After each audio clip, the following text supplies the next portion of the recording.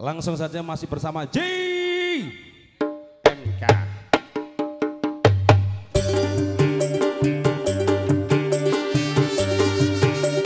Bidadari-bidadari cantik yang turun dari wali sudah hadir.